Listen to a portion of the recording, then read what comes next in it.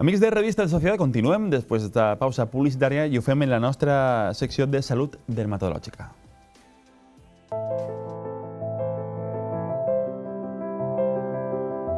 La Roche-Posay, una vida mejor para las pieles sensibles, patrocina esta sección.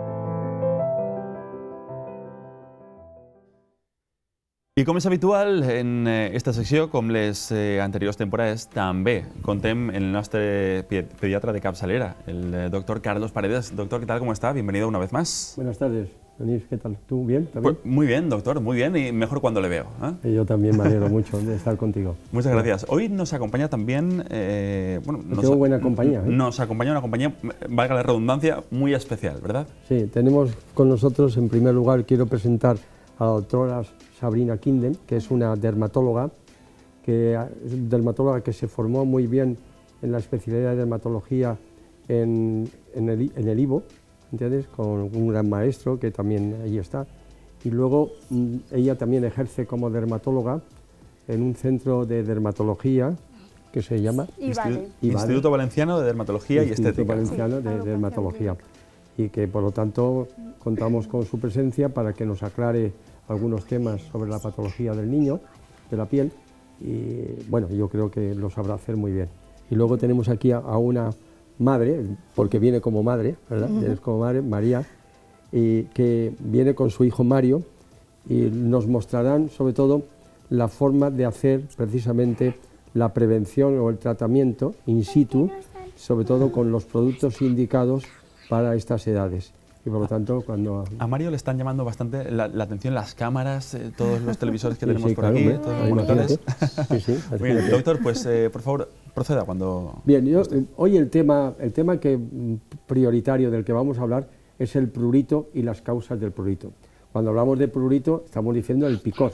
O aquello, prurito equivale a picor y picor equivale a rascarse. Y entonces tenemos que hablar de las enfermedades que pueden producir o de las patologías que pueden producir el prurito y en- principalmente hablaremos de las enfermedades cutáneas. Esto no significa que no existan otras enfermedades que sean generales que también puedan producir picor, pero de ellas no vamos a hablar porque corresponden ya a más a medicina interna, etcétera. Vamos a hablar específicamente de aquellas enfermedades de la piel que pueden producir prurito y por lo tanto que hay que tratarlo. Por ello, mi primera pregunta, que va dirigida a Sabrina, es ¿qué es lo que puede producir prurito, Sabrina?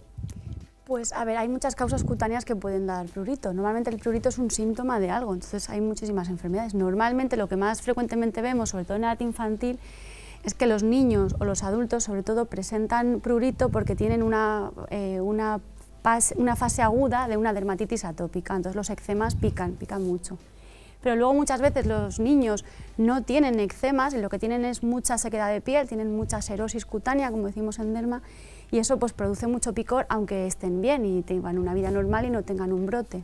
Justo, es importante esos dos puntos que ya has señalado, la dermatitis atópica y la sequedad de piel. Que la sequedad de piel, sin ser dermatitis atópica, bueno, habrá que decir para muchos padres que dermatitis atópica es equivalente a eczema, para que se haga una idea Sí. más o menos de la equivalencia. Bien, entonces, mm, ¿tú qué aconsejarías? ¿Qué medidas generales vamos a dar a unos padres para que puedan tratar a un niño con dermatitis atópica o incluso con solo sequedad de la piel? ¿Qué medidas serían las más adecuadas? Cuando no hay un brote, porque cuando hay un brote hay un eczema agudo y lo- hay que poner pues medicación, pero cuando no hay brote es muy importante que se lleve unos cuidados diarios y que se incorporen a la rutina del niño para que luego el niño conforme crezca lo haga de manera eh, automática. Sobre todo es muy importante recordarles que los baños tienen que ser muy cortos porque no hay nada Muy que bien. seque más la piel como es el agua. Baños rápidos, si son duchas mucho mejor, con el agua no demasiado caliente porque si no la piel pica mucho al salir de la ducha y usar un jabón que no lleve detergente, que es lo que llamamos Sinder. Son jabones suaves que no hacen espumas, no llevan perfume, pero que limpian igual de bien, claro. Bueno, y entonces tendremos aquí algún producto para que María se lo aplique a su hijo que sea en este sentido. María, Sí. si algún producto de los que consideres que se deben poner. Sí, Mario, como tiene la piel atópica, es un normalmente producto le como ese, pongo ¿no? un bálsamo para Sí. que sea más hidratante. Él Mario se, la pone él se la pone. Porque se supone que se ha duchado de manera rápida Sí. Y que se ha secado Aquí a golpecitos. Es muy saltar. importante lo que decía Sabrina, de que las- la gente no, que no haga baños largos. Eso es muy importante, ¿verdad? Sí. Es mejor baños cortos, a lo mejor repetidos, pero baños cortos a un baño es. muy pronunciado y además con la temperatura del agua que has comentado. Sí. Entonces, eh, aparte de, vamos a ver, porque los humectantes, acompañados de cremas o de más o menos, de- o lo de lociones, ¿qué, qué crees que son mejor? ¿Las cremas, las lociones o qué te parece? Depende del grado de sequedad. Yo siempre recomiendo que sean galénicas, muy fluidas, eh, porque el niño se lo va a poner más, le va a incomodar menos, entonces es mejor quizá algo que vaya a usar más. Pero hay zonas que están muy secas y muy liquenificadas, que son como que hay mucha capa de piel, como pasa detrás de las rodillas, en los huecos popliteos. Ahí es mejor pues cremas más densas, porque es más difícil que, que se absorban. Y es importante, por lo que está haciendo María, que el niño también aprenda un poco a ponérselo, ¿verdad? Claro. Es decir, que... Bueno, creo yo, que- yo- yo creo que él Sí, no lo solo ha aprendido a ponérselo, sino que además se lo quiere poner a su madre también. Está diciendo, y yo te lo pongo a ti, ¿no? Yo te sí, lo que, pongo a ti. sí, sí, sí que es importante eso. Bueno, la, eh, la forma, la, la metodología de aplicación, pues eh, es- debe ser en, en- en círculos pequeños. Siempre o- recomendamos frotar bien para calentar un poquito. Si no, no sí. quieren, está fría.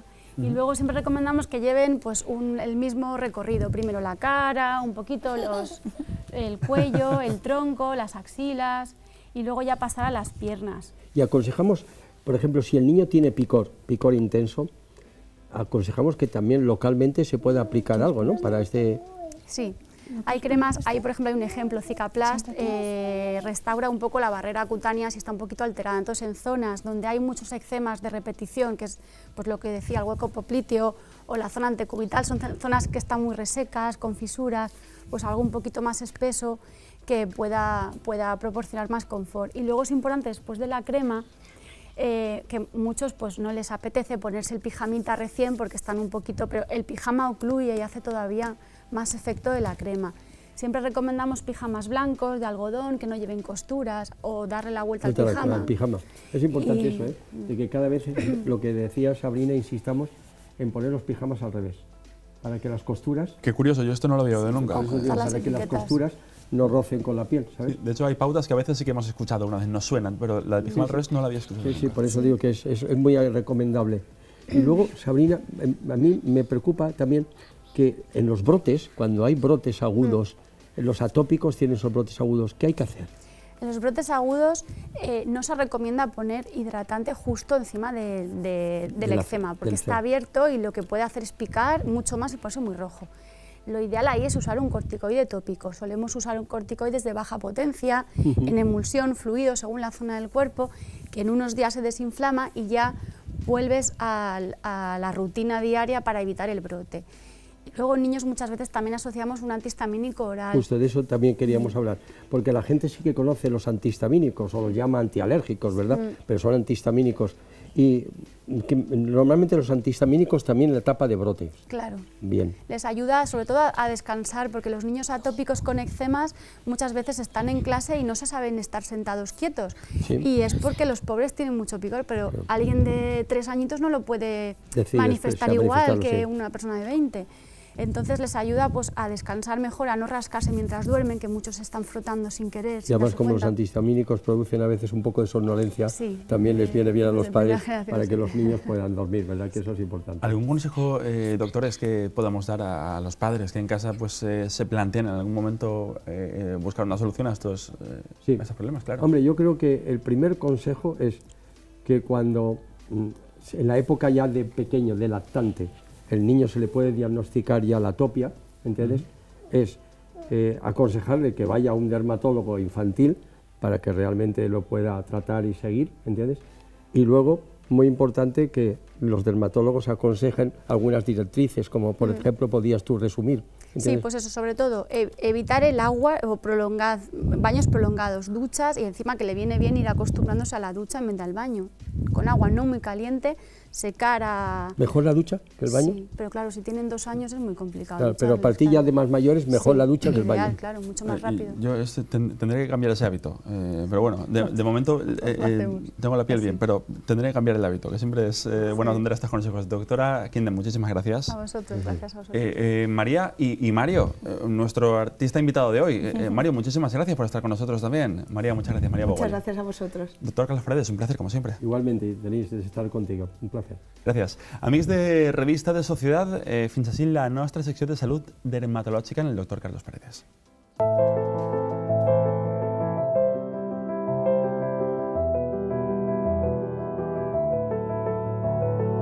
La Gauche Posay ha patrocinado esta sección.